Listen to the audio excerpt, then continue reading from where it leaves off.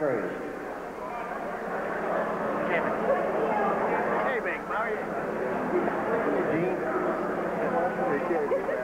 Hey. Gene, you taking pictures of them girls? Or two if they have. Gene, take care of it. I see.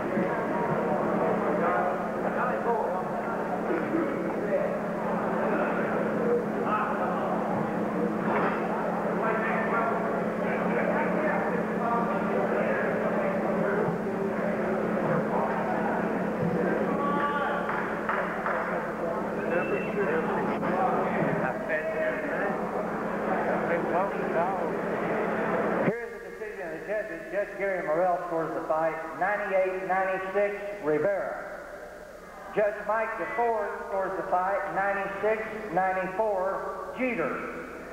Judge J.B. Atwater scores the fight 97-97. It is a draw.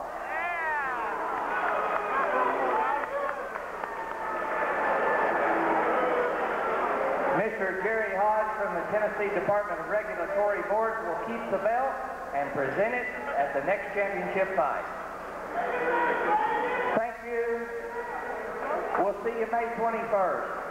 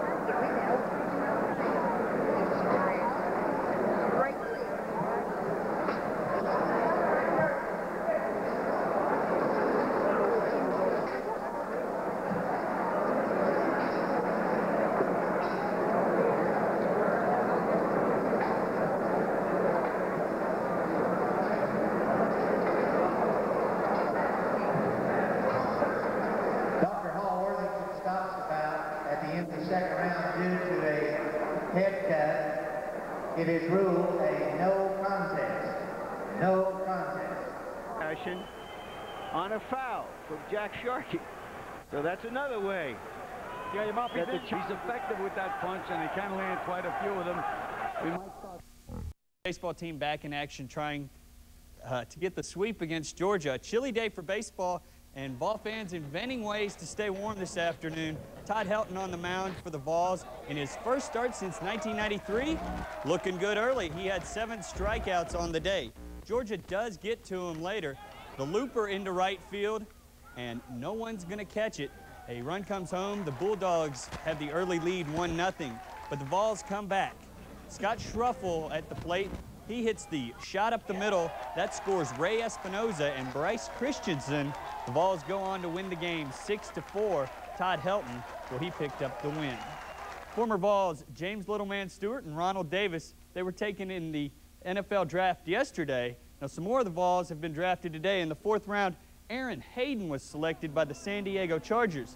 He was the 104th player chosen overall, and for Aaron, he's just glad that it's just all over.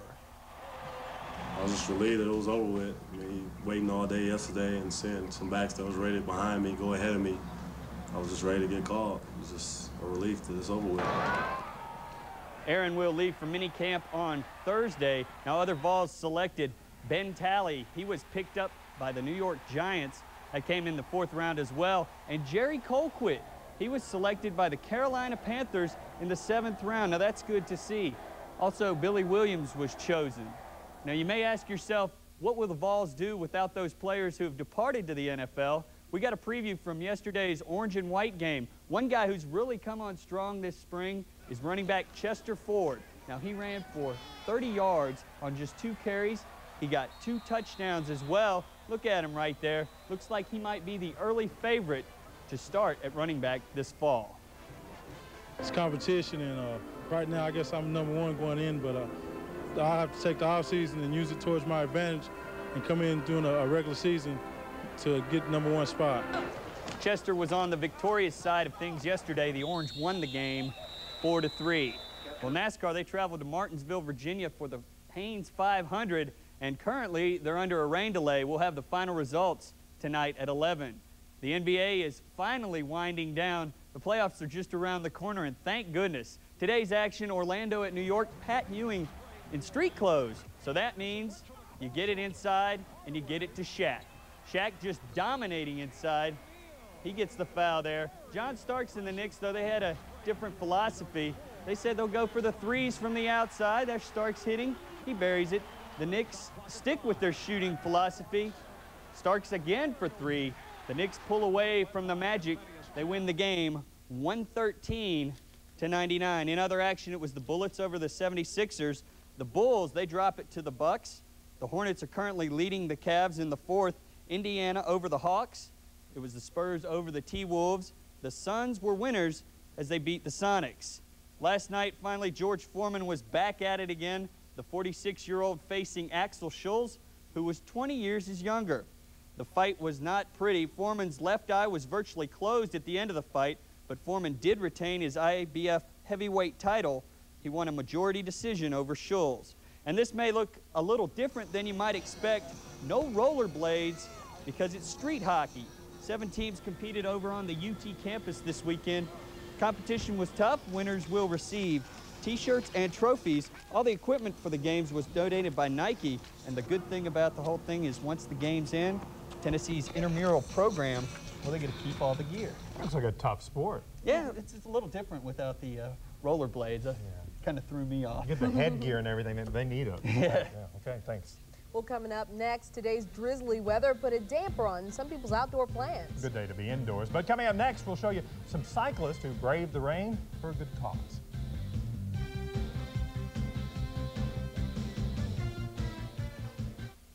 Right now at Fowler's Furniture, we have a small problem. During our renovation, we have limited space and lots of beautiful new furniture and accessories on the way. See the problem? Lots of furniture, little space. So we're having a sale with savings up to 70% to make room for all the new styles on their way to our newly renovated store. So while we clean up, you can too. Fowler's Furniture, proving once again, every time you look, we look better.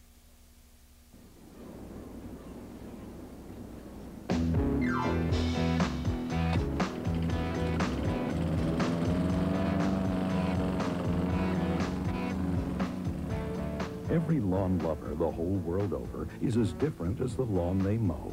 That's why Snapper has created a piece of equipment that's perfect for every lawn, no matter what size or where. Snapper, creating the most beautiful places on earth. I stopped by my Cadillac dealer and looked at the new DeVille. Impressive. DeVille's the roomiest front-wheel drive luxury car in the world. I like that. Only DeVille has the airbag system to help protect all three front seat passengers. That's good. And DeVille's only 489 a month with 1800 down. That got me excited. I looked at the competition. Current Cadillac owners take this to heart. See the Cadillac dealers of the South. WIVK's Will Hyde Wall. This week on WIVK, you could win $15,000. It's easy. Just put your radio on WIVK. That's 107.7 FM. Then listen Thursday morning at 7.15. We'll announce, now, we'll announce the birthday in this envelope. Now, if it matches yours, you could win 15 grand! WIVK, today's new country and birthday bugs. You could win 15 grand Thursday morning at 7.15 on WIVK. Where do you go? Buick owners now get a special loyalty bonus throughout April. Make your best deal on a new Buick, then Buick's loyalty bonus will save you even more. See your local Buick dealer. Coming up tonight on 6 Eyewitness News at 11, we'll have another live report from Oklahoma. The search for more suspects in the bombing intensifies. We'll have the latest. And in HealthCast, tis the season for sinus sufferers, I know that. Allergy season poses special problems for people who depend on clear nasal passages to make their living. We'll let you know about a, a doctor of country music stars and how he treats his patients. These stories and much more tonight at 11. Well, the rain didn't stop some cyclists out pedaling for a good cause. Sure didn't. About 100 people showed up to ride in the American Diabetes Association's annual Tour de Cure. Now, the rain did keep some people away, but as you see here, others didn't really have a problem riding in the rain. The bike tour started at South Doyle Middle School. Then they moved on to one of three bike trails all of the cyclists had sponsors to raise money for a good cause. We try to educate people concerning diabetes. A lot of people out there don't know that they have diabetes, and a lot of the money goes to research because we uh, fund uh, major research trying to wipe out the disease. By the way, TV6 is a proud sponsor of this event, and we found out today that riders raised $11,000 to fight diabetes. Yeah, cleaning up, and the streets look cleaner, too, with a wet pavement there. With all the rain, sure. certainly. That's the latest from 6 Eyewitness News. Thanks for joining us here. World News Sunday is up next. We'll see you back here at 11. Have a safe night. When you can't watch 6 Eyewitness News, you can listen. Tune your radio to 87.7 FM for a continuous simulcast of WATE TV6. good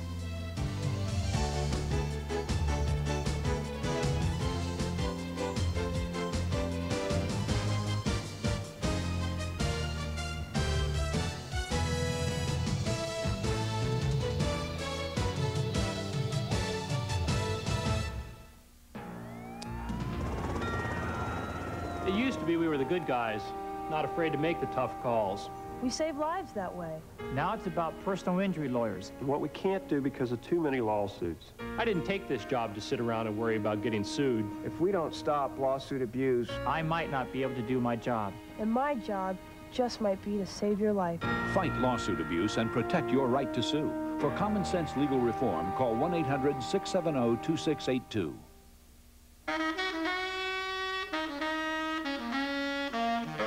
Let's see. 2.9% financing for 24 months, 4.9% for 36 months, and 6.9% for 48 months. Now available on all models of the Accord V6. This just keeps getting better and better, doesn't it? Hey, I never said it would last forever. So go see your Honda dealer. Tonight's Super. On your mark, get set, go. Don't drag your feet. America's Funniest Home Videos is a full hour, so get ready. But don't take all day. Then Capone, Dillinger, and Bonnie and Clyde come back to life. No! And when Clark has to fake his own death, no. Lois has to fight them all alone. William Devane guest stars on Lois and Clark after America's Funniest Videos. It's all tonight on WATE TV 6. If you missed it the first time, catch it on the sports machine tonight. In Oklahoma City, President Clinton leads the nation in a day of mourning and the process of healing. At the home of a material witness, federal agents find the ingredients to make a bomb. I'm with the Knoxville Police Department, and we're going to do a series of shows here uh, over the next month dealing with uh, the police department and some of the things that are ongoing. And with me today are uh, Sam Rivera, who is one of our officers and has been here since 1986, and to his left uh, and on your far right is Alvin Lynch, who is one of our new officers who just graduated from the police academy uh, about uh, two weeks ago, right? And we're going to be talking about uh, what they're doing now is Alvin is right out of the police academy, uh, having spent uh, 21 weeks in training, and now uh, Officer Rivera is his FTO or field training officer. And Alvin, as with all of his classmates from the academy, are spending time with, I guess, senior officers, even though Sammy doesn't look that old, uh, senior officers to learn about uh, police work. And I guess let me start off uh, by asking you, Sammy, what exactly is the FTO program about? That's pretty much a follow-up on what they've learned in the academy. We try to reinforce the training they had there and apply it to actual street experiences. Alvin, uh, what have you found to be the most interesting part of uh, police work thus far? Thus far, Foster, um, I guess dealing with people on a day-to-day basis and uh, the different phases that people go through as far as uh, how they handle everyday situations and us trying to solve everyday problems. When you went, let's talk about your background. Where did you work before you came to work at the police department?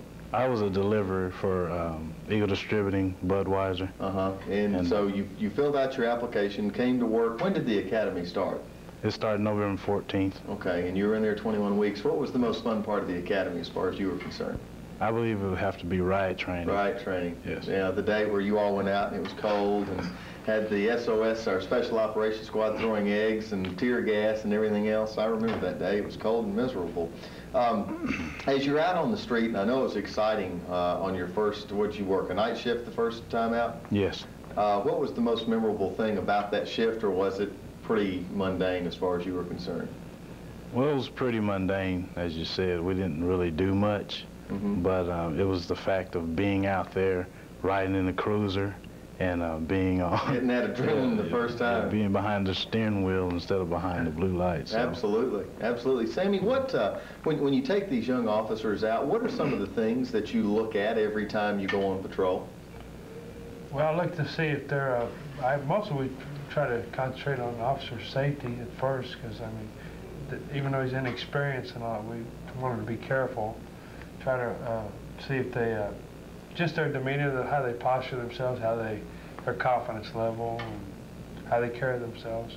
This is an important part of the training for a senior officer to watch. And don't you have rating sheets that you're supposed to, how many points are on that rating sheet that you're supposed to be actually looking for? Uh, I'm, I can't remember off the top of my head. There are at least 20. There's probably about 25 to 30. They're called uh, those rating points. Mm -hmm. And on a daily observation report, each one uh, has a certain category that we judge their performance on, and uh, it's either an acceptable or not acceptable level. And uh, that's uh, we do that every day, and then we see where the officer is lacking, where his good points are, and where his weaker points are, and then we go from there. Well, Alvin seems like he's a pretty well, well-rounded guy. How's he doing so far? So far, he's on the, he's uh, he's doing fairly well. We haven't uh, got to see all the uh, things in the category yet that uh, we would grade on, but so far everything's coming along at uh, the right time, right speed. What, Alvin, when you were going through, and everybody's got strong points and weak points, what do you think your strong and weak points were when you were in the academy? What did you enjoy and excel in, and what were some of the things that maybe you had to work a little harder on? Well, I believe my uh, weakest points um, was knowing exactly how to um, fit the laws for the crimes and how to charge for the the crimes committed because there's so there's so many uh, different crimes and some of them intertwined. Uh, as far as uh, my strong points, I believe that um, defensive tactics area and um, the tactical areas of entry buildings and like I said, uh, we had a good time with the riot riot control. The physical aspect of the academy was, I guess, my uh, my stronger point. Yeah, well, you're in great shape. What were some of the things that y'all did when you were in the academy as far as the, the physical training or the PT went? Well, we did an awful lot of running. Mm-hmm. Uh, we actually got to eight miles one week uh, running. Uh, we did a lot of push-ups, a lot of sit-ups, a lot of mountain climbers.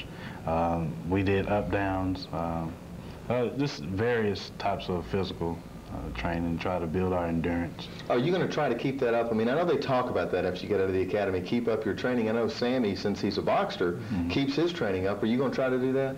Yes, I think it's very important for me to try to maintain um, a good physical status because you know you're doing a lot of running, and the people out here that you're you're trying to, to work with and work against a lot of times, are, uh, it takes a little bit better physical ability to, to handle situations. So I think it's important. Sammy, has it been hard? I mean, I- and, and again, we're going to talk on another show about you and your boxing career, and I guess you're more disciplined because of the boxing, but do you see it, and you, you've been around now for nine years, do you see some of the officers slacking off a little bit once they get out of the academy about their intense physical training? I mean, I, Yeah, I think everybody pretty much does something, but... Yeah, I think a lot of them when they first get out, they're looking forward to the break because it's, it's a, they expect a lot of discipline from self-discipline, and they they they. Uh, I imagine that it's just they're just tired after a while and they just want to take a little time off and get back to bad habits and old habits and it just takes a while to. to But, the, to- but we, we do It can be provide... them. Absolutely, and, and we provide, well, the FOP has the nice workout Right, facilities, and workout. also at the police department, there's some nice Right, equipment downstairs right. for Plus people we to got the physical incentive days, and that's always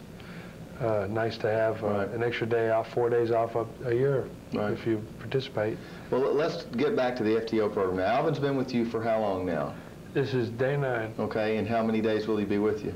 He'll be here uh, for the first phase for a total of four shifts. It'll be 24 days. Now, he'll be with you for 24 days? Yes. And then he switches off to another to another FTO, probably in a different area of town, different clientele of uh, Different people, yeah, different people out that you have to right. work with. Right. Uh, what area are you all running now? We run the East, East District, and we're the wild card, so I've kind of mixed it up with him and take him different places. Um, I run him to the project areas, I run him to the better, better income areas, to the business areas, um, uh, things like that. And uh, when he gets done with me, he'll go to another officer, but I'll have him back at the fourth phase. And that's purely an evaluation phase, or I don't do any participating. Now, that, explain that to the viewers. That's how you all work that. By the time he comes back to me, he should be considered. now, how many weeks will that be? Well, he'll, I believe that'll be uh, 12, 16. 19, 18 weeks? Well, it's 16 weeks 16 total. weeks. So he'll come back to me on the 14th week, and I'll have him for the, the last two weeks of that. And uh, pretty much, I'll be in civilian clothes, and uh, I believe that, well, that reason is so the uh, person that he's dealing with will see him as a primary officer, and I'll act, act as an observer, and I'll just sit there and uh, watch his performance, and I w- won't have much to do with him at all. And the reason for that is, by, is because by the time he gets to the fourth phase, he should be at a almost at a solo capacity level as an officer. Does that make you nervous, having somebody watching over your shoulder all the time? Not really, because right now I don't know how to be quote unquote a police officer. Mhm. Uh, I'm still in the learning and training phase, and um, as uh, Officer Rivera mentioned before, officer survival and safety is uh, the primary aspect, and I'm just trying to learn as much as I possibly can. So it doesn't bother me at all. What made you want to be a police officer? I mean, has this been something you've wanted to do since you were a little boy, or? Well, I can't say that. It's just um, I'm the type of person that likes to help other people, and um, I ultimately want to get into juvenile sector of law and try to uh, help the kids. And so I felt that the easiest way to get there, reach my goal, is to start at the lowest level and try to learn and build my way up to the juvenile status.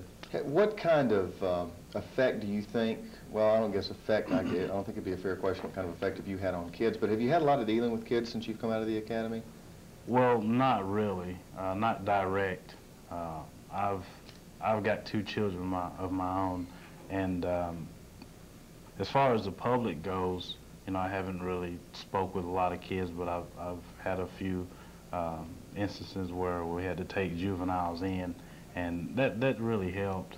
And it, it still, it helped strengthen my desire to, to want to deal with the children. To be a juvenile officer Yes, sir. someday? Well, that's good because we need people that, that are interested in, and I think most officers are interested in, in children, uh, but to specialize in that, it takes a special person because I know, especially when you're dealing with juvenile sex crimes, you're dealing with crimes against kids, it really is tough. I mean, is, is that what your goal one day? You want to be a, a juvenile investigator or somebody that works just with the children? Yes, sir, primarily. Um, I feel that, that dealing with adults is a lot different than children because if when you look at children today, you're looking at your future primarily. So I'd like to have a, a large impact and effect on, on uh, my kids' future. So by dealing with juveniles, uh, I can kind of uh, contribute to, to the future per se. Well, that's great. Sammy, uh, what made you want to become a police officer? That was a long time ago. uh, Well, it can't uh, be that long ago. Oh, You're not that me. old. No, but it, I, I'm, I'm kind of in, in uh, Alvin's frame of mind there. I, I've had a sincere desire to get out there and, and to work with people and help people. And uh, and now that I have that ability and, and the uh, authority to go out there and take uh, myself into places where the average person can't go, I, I feel like I have more uh, uh, opportunities, is how I meant to say it, to uh, to do something positive, especially like like Alvin I, and from Golden Gloves and and out here in East Knoxville, a lot of people know me from boxing, and that's been a real contributor. I mean, it's been a real good uh, uh, uh, thing out there as far as getting in people to uh, listen. Yeah. Have you had, uh, what, what would you, as you look back over your nine years, and by no means that's, that's not a career, I mean, that is a good length of time, but what is the most eye-opening thing that you've seen since you, I mean, the most eye-opening experience, I guess, you've had since you've been on the police department? Uh, I'd say the one that really got me shook up the worst was when my uh, officer Jim Marino, he was Mhm. my former roommate, and we went to the academy together. The day they had the bank robbery at Inskip and he was shot, that made me realize that how dangerous this job is and how Mhm. close to home it hit. And uh, I really, I, I got scared that day, more for, well, for him, but also for all of us. I saw that, that that's the, how serious that uh, uh, occupation we chose. And Absolutely. any moment, something could just change your life. Absolutely. And you have to be prepared. Well, I think that anybody that wears the uniform that says there's not a, a little fear in everybody every time you go out, they'd be a fool, Yeah. because that fear keeps you safe. Well, gentlemen, thanks a lot. Our 15 minutes is up. I told you it'd go quick. These guys were real nervous about this, but I appreciate your time. Alvin, thanks. Sammy, appreciate you. And we're going to do uh, another show here coming up very shortly uh, with Sammy talking about his boxing career. Uh, we might even go a few rounds here. You never can tell. But thanks for watching today. We'll see you next time.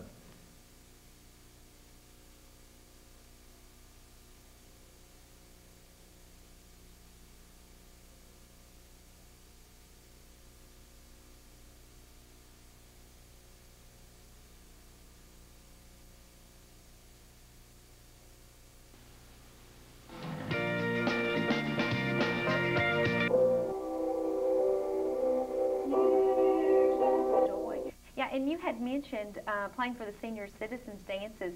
Those are dances that we have in our rec centers, um, and they're available to. Uh, these are senior citizens dances, and they are available to anyone in Knoxville who wants to come out there. Again, it is free, and the band is playing um, at the rec centers for the dances, and those dances are usually three and four hours long.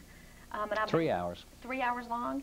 And uh, for information on the dances where you can just come, sit and enjoy, listen to the Community Recreation Band, I'm sure that you can be calling the same number. Um, Right. What is the number someone can call to get information or to be on the mailing list? Parks and Recreation, Knoxville Parks and Recreation, 521 2090. Okay, that's great. Uh, Dr. Collins, thank you for being with me today. thank you. And I look forward to uh, every concert, especially the holiday concert coming up. Thank you. Thank you.